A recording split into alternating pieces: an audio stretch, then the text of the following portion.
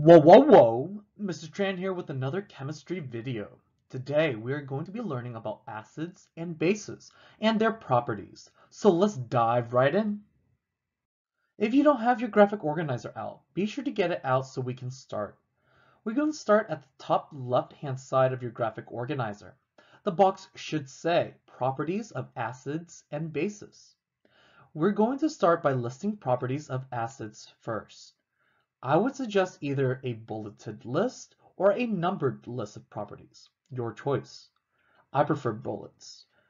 First, acids are compounds that produce hydrogen ions when dissolved in water. So I would suggest putting a little bullet point underneath acids on the left-hand side of your box and write down produces hydrogen ions when dissolved in water. Now, what exactly does that mean? Let's illustrate this with a common example. A really common acid that many of you have heard of is hydrochloric acid.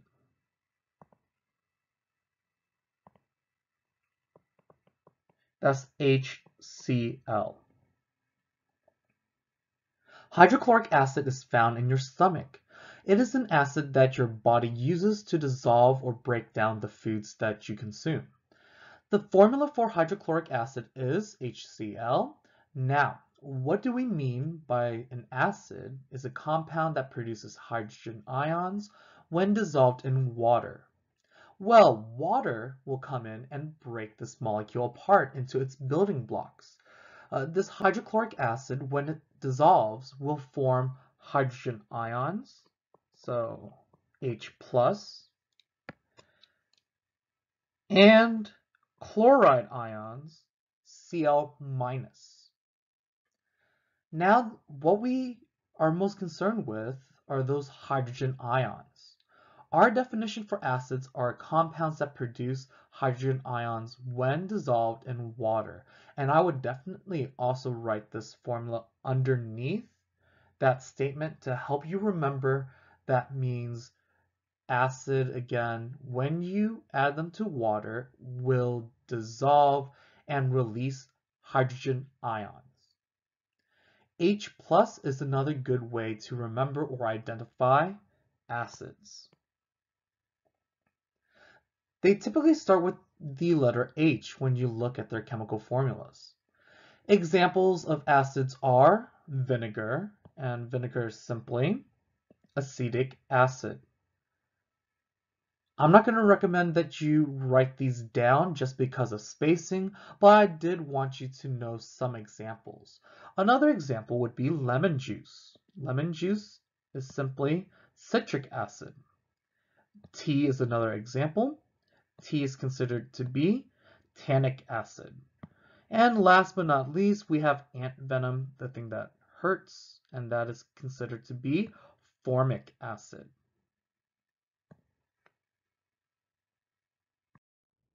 Let's continue with our properties. The second bullet is sour taste.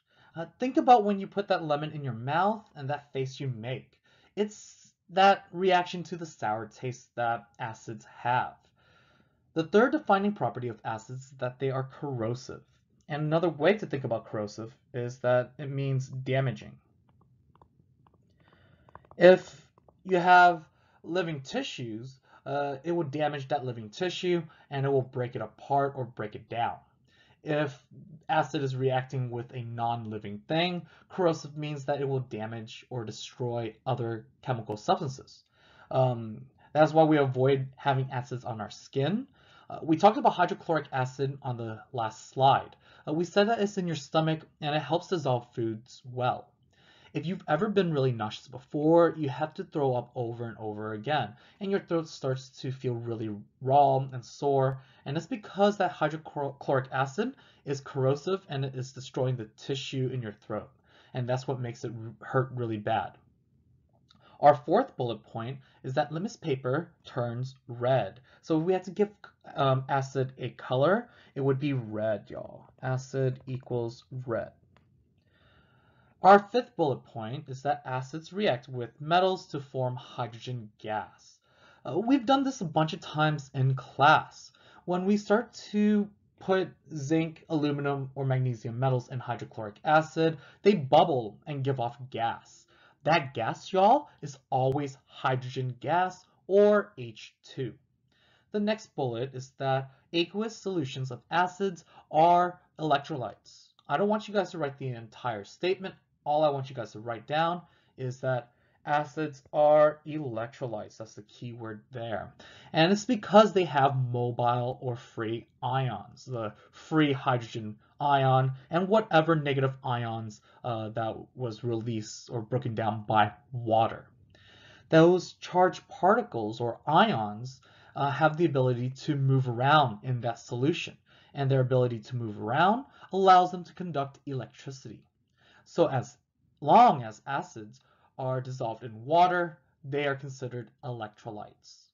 And the last bullet point is that we're going to have acid react with base to form two really important products. The first product is water and the second product is salt. So acids react with bases to form water and salt. And so that's the last bullet point you should write down word for word. A natural indicator is a substance that changes colors at different pH. We will learn about pHs a little bit later on, but essentially indicators change colors in the presence of acids or bases. We have this blue litmus paper here. This paper has been treated with a natural indicator. Please note that acids and bases are colorless. Um, they just look like water. If you're looking at a clear solution in a beaker and want to identify whether it is an acid or a base, uh, you use a pipette to put a few drops of that solution on blue litmus paper, and if it changes color to red, then we know we have an acid in the beaker. We wrote this property down already that, again, acid equals red. I want you to add one more thing to your box for acids. What we have here is a pH scale hoping that most of you have heard of the term pH before. It's a measurement of the number of hydrogen ions in a solution.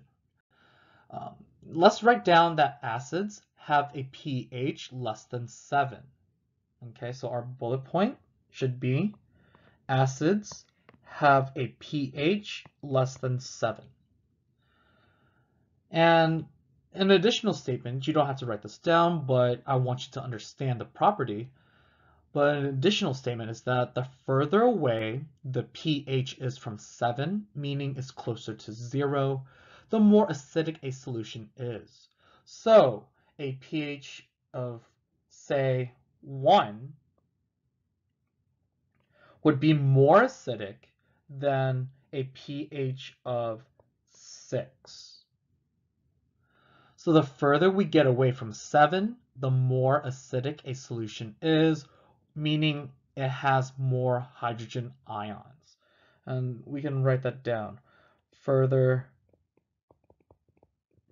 away from 7, more acidic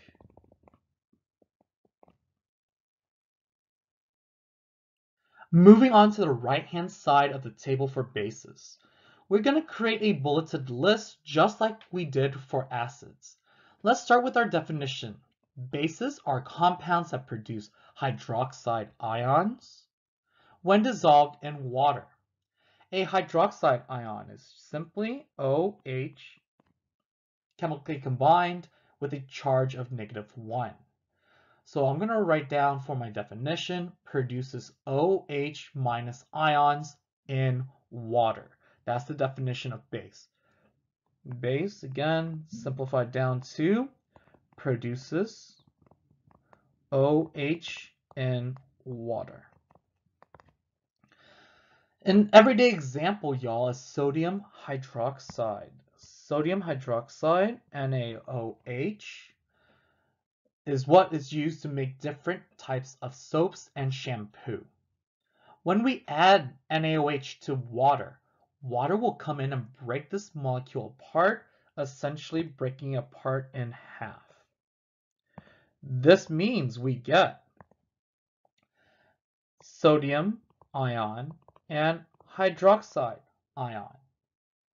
A few everyday example of bases would be milk of magnesia.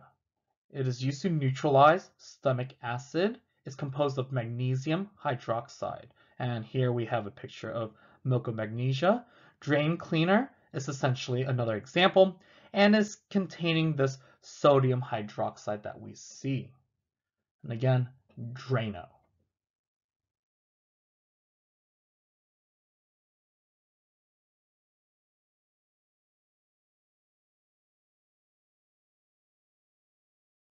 Let's continue on with our properties.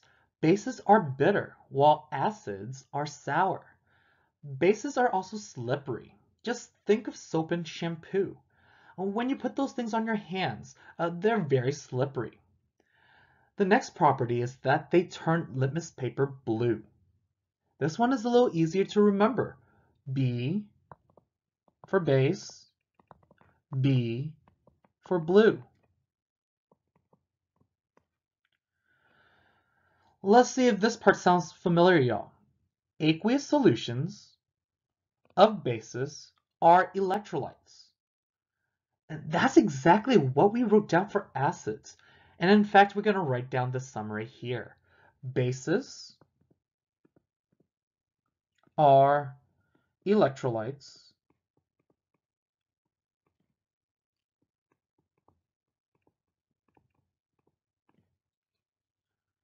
because they have dissolved ions in solution. Think of that example I gave you on the previous slide.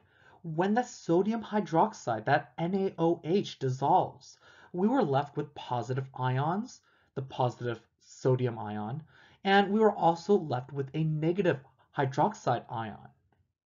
Because NaOH dissolves and forms ions or charged particles, they can conduct a current, also known as electrolytes. Let's see if the next thing sounds familiar as well. Bases react with acids to form water and salt. Let's write that down.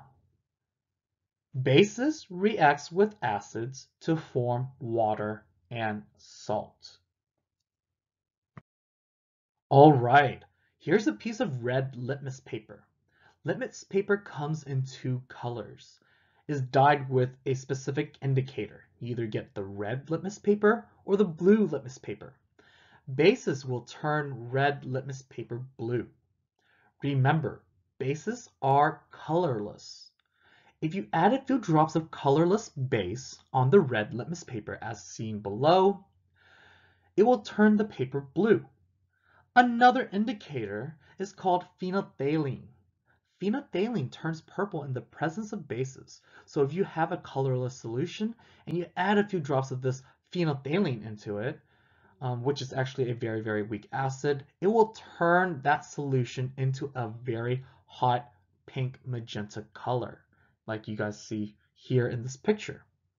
I don't want you guys to write either of these things down, but I just want you guys to know that bases turn litmus paper blue. And the last thing that you'll add for properties of bases is that they have pH that is greater than 7. Again, bases have a pH greater than 7. The further away a pH is from this neutral 7, the more basic or the stronger that base will be. So a pH of 14 right here, y'all, is much stronger than a pH of 10. So the further away we get from this neutral 7, the stronger that base becomes. So further away from 7, stronger the base.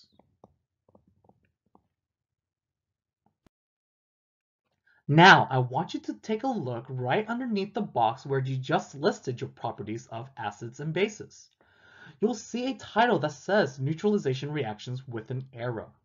Now, there's not a lot of room here, so I recommend that you write above the arrow and leave yourself some room beneath the arrow in order to write an example down. So what is this neutralization? This is going to be the third time that you guys are writing this down, y'all. Is very important. It is acid plus base yields salt plus water. That arrow, y'all, represents yields, meaning to produce or create. Again, I would leave a little space underneath for an example of what this neutralization reaction would look like. This reaction is a double replacement, y'all. Remember, we did this type of reaction at the very beginning of this semester.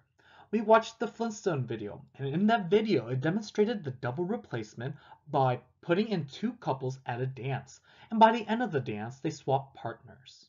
We use a phrase inside-outside in order for us to determine the two new products. So let's start with my inside. So we have Na coming from my base. The Na is a positive metal, y'all. And we have the Cl, which is a negative ion, coming from my acid. If we put the positive first, and the rule is positive always goes first if we are writing a chemical formula, and we are, so Na goes first, Cl goes second, we have our salt, sodium chloride. Now the outsides. We have HOH, making my water molecule. The H coming from my acid. Remember y'all, acids donates or releases hydrogen ions in solution, whereas the OH comes from the base. Uh, when bases release uh, hydrogen ions, they release it in solution. Here's what I'd like you guys to do. Underneath acid plus base yields salt and water, I want you to put the example you see. HCl is an example of my acid. NaOH is an example of my base. NaCl is the example of my salt. And water is simply H2O or HOH. I think it would be easy to write water as HOH here, y'all. The products of a neutralization reaction are always going to be a salt, a metal plus nonmetal, and water. And in this unit, y'all, again, I'm repeating myself, but it's very crucial. It helps if you write water as H-O-H. Either way is fine, y'all. It doesn't matter. But I, for this unit with acids and bases, I would want you guys to write water as H-O-H. I just want to do one more just to make sure you understand the concept. We're going to write the balanced chemical equation for the neutralization reaction between nitric acid, and that's HNO3. Notice that it starts with the letter H. This is a pretty good indicator that we have an acid here. Potassium hydroxide, which is KOH. Notice that my base ends with the letters OH. This is a pretty good indicator that we're working with a base. So if I want to predict my products, I'm going to use the inside-outside method. So let's do that. Again, I'm going to start with my inside first. So I have my K, which is my positive, my NO3, which is my negative. And if I were to put those two together with my positive ion going first, I would get KNO3. Notice y'all, potassium has a positive 1 charge and NO3 nitrate has a negative 1 charge. If we put them together, the charges cancel out. There are no subscripts. We just write it as KNO3. Next, we go to our outsides, and I'm going to color this green. We have my OH and H. So HOH combines to make water. So again, it's easy to write HOH if we are going to have to balance it. So I'm going to rewrite this as HOH. And again, this is our formula. So we have to use the inside outside. Again, we have to balance the equation.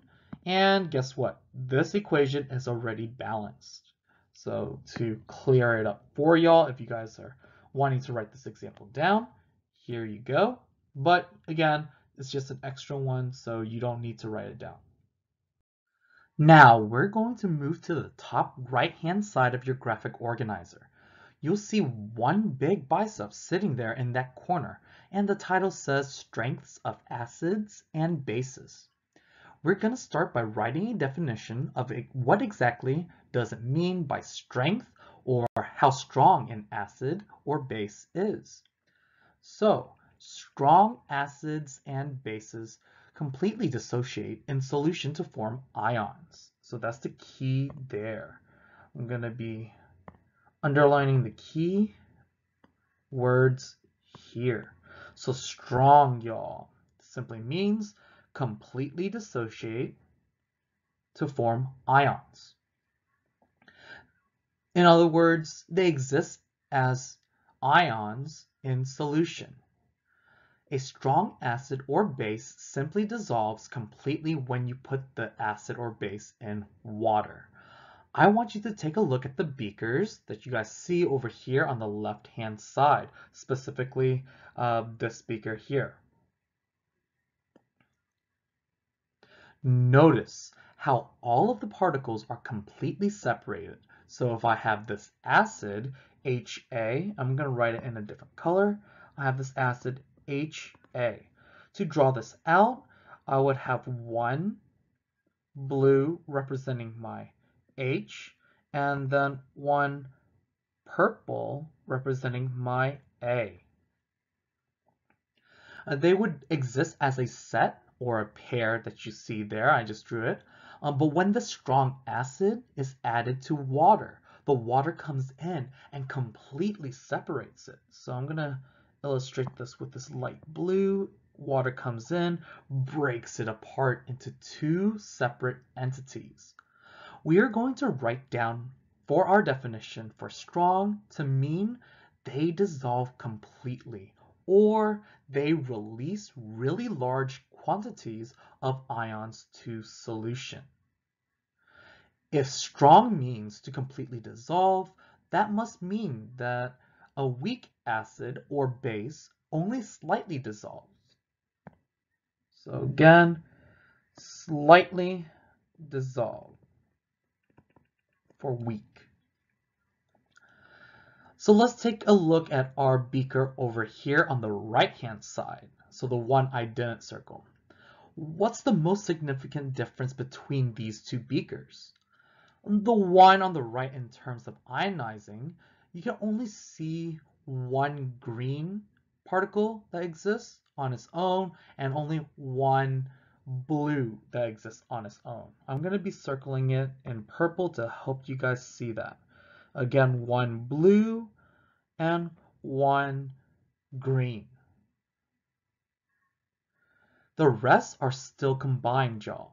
Okay, so that's what it means. There's still a set. That's what uh, weak means. They did not dissolve completely. Uh, water was not able to go in and break those apart, so it's considered to be a weak base. So let's write that definition down. Weak acid or weak base dissolve to a small extent or only dissolves a little bit. Any way you want to say that, okay? Again, weak acid or base dissolve to a small extent or only dissolves a little bit. It's important to note the identity of our strong acids and bases.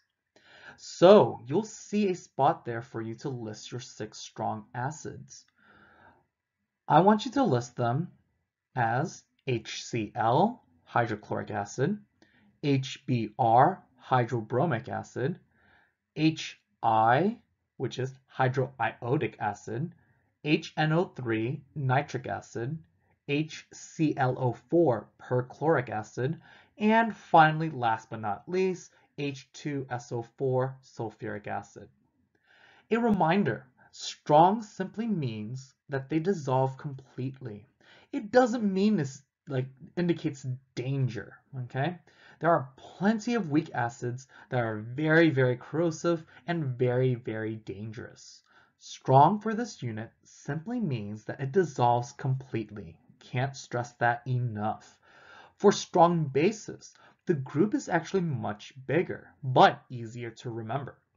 We're going to write down that strong bases are any group 1 or group 2 metal on the periodic table with an OH at the end of the formula. So I want you to look at your periodic table and anything that falls under group 1 alkali metal or group 2 an alkaline earth metal with OH at the end of the formula like the examples that are listed down for you they would be strong bases. I didn't list all of them, but you can figure it out by looking at the periodic table. One last thing to do is to fill out the bottom of your graphic organizer on the left-hand side. You'll see a box that says Arrhenius theory. We're going to define acids and bases using the Arrhenius theory, and we're going to make these definitions as easy as possible. So an acid, according to Arrhenius, is a compound that starts with the letter H, meaning that it will produce hydrogen ions or what we call hydronium ions when dissolved in water. Okay, so hydronium ions simply is H3O plus. Label it here for you, hydronium ion. So to summarize, an Arrhenius acid starts with an H. Let's write an example down. Here we have hydrochloric acid. We wrote this down before, but I didn't write the water. We just assumed that hydrochloric acid was being submerged in water, but notice what happens here, y'all. If I were to donate my hydrogen to H2O, it becomes H3O with a positive charge, and chloride ion is all by itself you'll see that again, we don't use hydronium a lot in our class. We're simply going to write it as H plus. So what we wrote down earlier is true. Also, we're going to eliminate water from this equation as well, and it's easier to see the dissociation. So if I were to take off the water molecule, this would simply become H plus and you see that here. Okay, if I mm-hmm. don't have H2O, then HCl splits up in half to become H plus and Cl minus. An Arrhenius base, y'all, must contain OH, okay, or hydroxide ions when dissolved in water. For our base definition again, we can simply reduce what I just said to base equals a compound that ends in OH. And we have our example here. NaOH splits into sodium and hydroxide ions. Okay, again, a special note at the bottom, dissociation reactions can be written with or without water in the equation. Unfortunately, the Arrhenius definition excludes several compounds from correctly being classified as acids or bases, so we need a better definition. I don't need you to write down any of these disadvantages. I just want you guys to know because it's not the best definition and it incorrectly labels some substances or omits some substances that we need a better definition. And so we do. The last thing we're going to do for today, I promise you, is to fill out the definition of the Bronsted-Lowry theory. But before we do that, I want to cover something with you really quickly. I want to analyze a neutral hydrogen atom for its subatomic parts, meaning I wanted to know the number of protons, electrons, and neutrons. Okay, so because hydrogen has an atomic number of 1, if I were to look at its nucleus, I would expect to find one proton, a positive charge inside the nucleus. And because it's neutral, I know that there's one electron flying around that nucleus. For the neutrons, again, since there's only one proton and there's no need to act as a buffer inside the nucleus to prevent the protons from flying apart or escaping the nucleus, we don't have any neutrons. So if a neutral hydrogen atom were to convert into a hydrogen ion, what would we see? So again, this positive charge simply means that it's losing an electron. So the electron is lost, and all I have left is a single proton, and that is what a hydrogen ion is. Hydrogen ion is simply a single proton. I want you guys to write this down, y'all. Super important.